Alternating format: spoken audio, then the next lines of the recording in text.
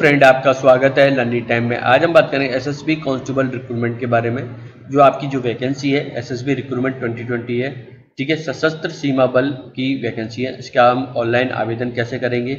और थोड़ा सा नोटिफिकेशन के बारे में बताऊँ। इन सब के बारे में आपको उसको वीडियो में पूरी जानकारी दूँगा। तो यहाँ पे आप दे सकते हैं हमारी ऑर्गेनाइजेशन सशस्त्र सीमा बल कांस्टेबल की वैकेंसी है। यहाँ पे एडवर्टाइज नंबर दे सकते हैं, ठीक है? तीन सौ अड़तीस R C S S B combined ठीक है? पंद्रह सौ बीस। उनतीस अगस्त से आप जो नोटिफिकेशन रिलीज़ हुआ है। ऑनलाइन रजिस्ट्रेशन उनतीस अगस्त से है।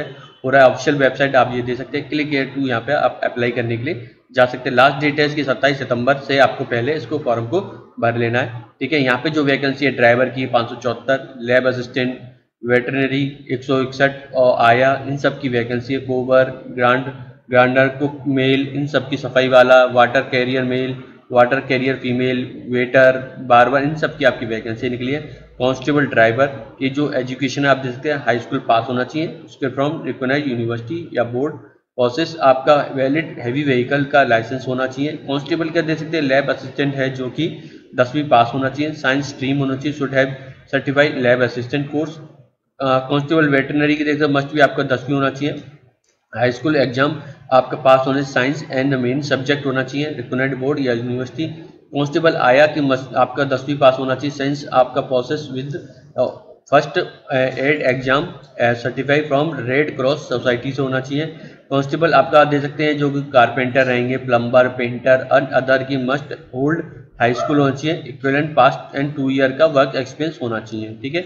यहाँ पे आप देख सकते हैं जो आपका, जो आपकी एज लिमिट रखी है, अठारह से सत्ताईस रखी गई है ड्राइवर मेल के लिए।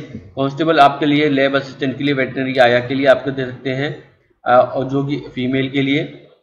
ओनली यहाँ पे आप सकते हैं कारपेंटर प्लम्बर के अठारह से पच्चीस या कांस्टेबल पोस्ट को वाशरमैन बारबर सफ़ाई वाला वाटर के अठारह से तेईस रखी गई है, ठीक है? तो अब इसकी ऑफिशियल वेबसाइट पे चलते हैं, वहाँ पे हम जानते हैं किस तरीके से हम आवेदन कर पाएँगे। यहाँ पे आप देख सकते हैं फ़िज़िकल टेस्ट के आपका क्वालिफिकेशन का रहा है स्टेज रिटर्न एग्ज़ाम होगा सौ मार्क्स का, ठीक है?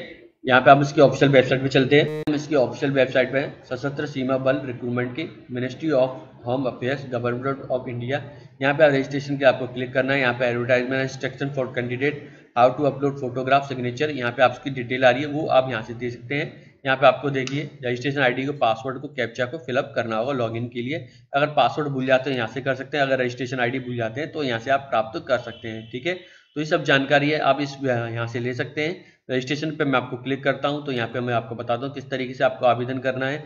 तो यहाँ पे आपको सबसे पहले क्या करना होगा पोस्ट जिस पोस्ट के लिए अप्लाई करना चाहते हैं, जैसे कि मान लीजिए टेलर के लिए पेंटर के प्लम्बर के, जिस भी पोस्ट के लिए आप अप्लाई करना चाहते हैं, उस पर आपको क्लिक करना होगा। जैसे सफ़ाई वाला है तो सफ़ाई वाले के लिए क्लिक करना होगा। तो उसके साथ ही आपको जो, आपको जिस, आपकी स्टडी है, यानी एजुकेशन क्वालिफिकेशन वही हमें यहाँ पे रखना होगा, ठीक है? तो यहाँ पर आपको ध्यानपूर्वक आपको सेलेक्ट करना है, जिस पोस्ट के लिए आप अप्लाई करना चाहते हैं। जैसे मैंने प्लम्बर के लिए किया तो यहाँ पे आप देख सकते हैं प्लम्बर के लिए करना, कर रहा हूँ। तो आपको नाम मिडिल नेम सरनेम देना होगा।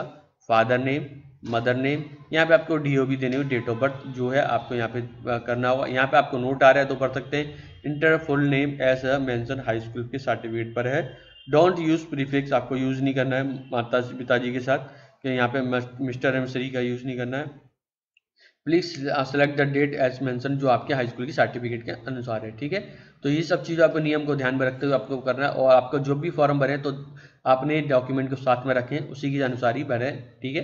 तो यहाँ पे आप दे सकते हैं नेशनलिटी रिलीजन या आपको यहाँ पे सेलेक्ट करना हो जो रिलीजन है, ठीक है? मेरिट रिलेट स्टेटस आपको बताना होगा अनमेरिड है मेरिड है डिवोर्स है, जो भी है, यहाँ पे आपको देना होगा। कैटेगरी बताएँ general you are economic sector OBC जो भी एस सी एस टी यहाँ पे आपको बताना पड़ेगा। यहाँ पे आपको आप किस whether you belong to community तो यहाँ पे जैसे गढ़वाल इसमें से यस या नो करना होगा, ठीक है? तो यहाँ पे यस करते हैं तो कम्युनिटी का आपको बताना किस कम्युनिटी से बिलोंग करते हैं, जैसे मैंने इसमें सेलेक्ट किया certificate number date of issue issue of authority यहाँ पे आपको जानकारी देनी होगी, ठीक है? इसके बाद देने के बाद तो यहाँ पे आप दे सकते हैं, यहाँ वेदर एक्स सर्विसमैन है या नहीं, इसकी जानकारी देनी या नो करना होगा। ठीक है एक्स सर्विसमैन है तो यहाँ पे आप जैसे date of enrolment number date of permanent discharge आपके किस टाइप की सेलेक्ट करना है कैटेगरी की थी। यहाँ पे आपको रिलीज़ फॉर डिस्चार्ज का सिविल था मिलिट्री था, इसकी जानकारी देनी होगी। ठीक है, यहाँ पे आप देख सकते हैं, आप वेदर इफेक्टेड उन्नीस सौ चौरासी राइट कम्युनल राइट गुजरात या नो करना होगा। ठीक है? सेलेक्ट आइडेंटिटी कार्ड टाइप यहाँ पे करना होगा आपका आइडेंटिटी टाइप आधार है वोटर आईडी पैन कार्ड है पासपोर्ट है राशन कार्ड है। इसमें से एक को आपको सेलेक्ट करना होगा इंटर आपको इंटर करना होगा आइडेंटिटी कार्ड नंबर जो यहाँ पे सेलेक्ट करेंगे, उसी को आपका नंबर देना होगा आइडेंटिफिकेशन मार्क देना होगा जो आपका आइडेंटिफिकेशन मार्क है, वो आपको बताना बॉडी पर कोई भी आपका मार्क है जो आप यहाँ पे बता सकते हैं। मोबाइल नंबर है ठीक है? और यहाँ पे देना पड़ेगा और ईमेल एड्रेस आपको देना पड़ेगा। ये फ्रेंड आप जैसे जो लाल लाल आ रहा है, ये आपको मैंडेटरी है, ये आपको आपको फिल ही करना पड़ेगा। बिना इसके आप फॉर्म को फिल नहीं कर पाएँगे।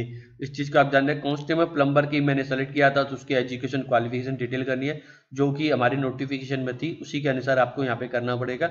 यहाँ पे इन सबकी हाई स्कूल आ रही है तो यहाँ पे आप सकते name of school year of roll number आपको certified number date of issue subject और एग्रीगेट परसेंटेज आपको यहाँ पे देना है।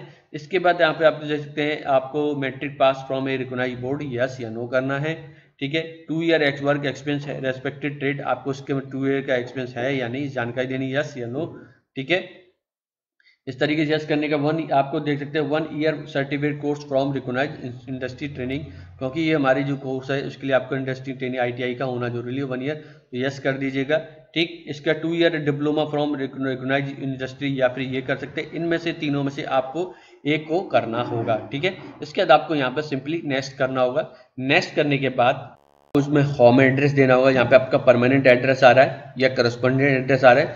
या अगर दोनों सेम है तो यस कर दीजिएगा नो है तो आपको अलग अलग डिटेल भरनी होगी, ठीक है? तो यहाँ पे देख सकते विलेज या टाउन आप जहाँ शहर में रहते हैं या कस्बे में रहते हैं या सिटी में रहते हैं, वो जानकारी देनी होगी पोस्ट ऑफ़िस तहसील, ठीक है? पोस्ट ऑफ़िस आपका पुलिस स्टेशन का नाम बताना होगा, जो आपके घर के पास हो।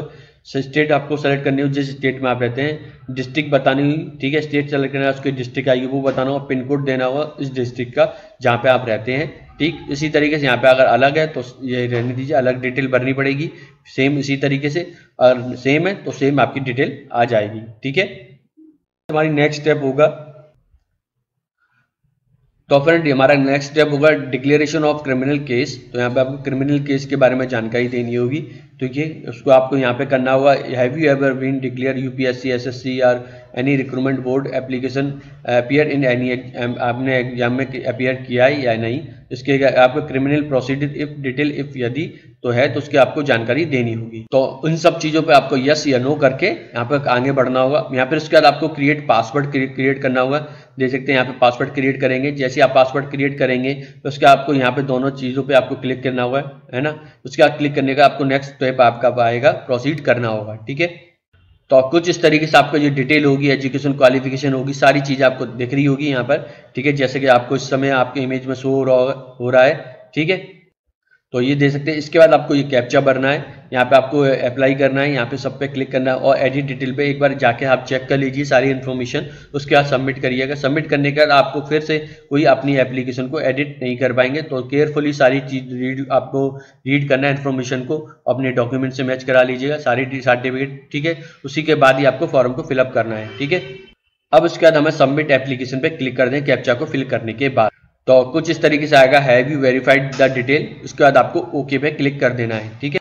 तो आप इसके बाद आपको एक और बार पूछेगा are you submit detail prevent the promise creating additional dialog box तो आपको उस पर क्लिक करना है और उसको आपको ओके पे क्लिक कर देना है, ठीक है? तो फ्रेंड इसके बाद आपको फोटोग्राफ अपलोड करने को आता है तो यहाँ पे आपको जानकारी देनी है किस तरीके से आपको फ़ोटो अपलोड करने का यहाँ पे आपको बता रखा है राइट ट्रिक बार है, उसी तरीके से हमें फ़ोटो अपलोड करना है, ठीक है?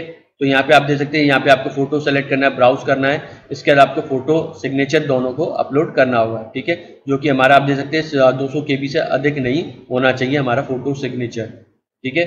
उसके बाद आपको ये प्रोसीड करने का बटन आ रहा है उस पर प्रोसीड पे क्लिक करना है। प्रोसीड पे क्लिक करने के बाद आपको प्रिंट एप्लीकेशन आ रहा होगा, वहाँ पे प्रिंट एक्नोलेजमेंट को आपको डाउनलोड कर लेना है, ठीक है? ये दी डिटेल जो कि मैंने आप लोगों को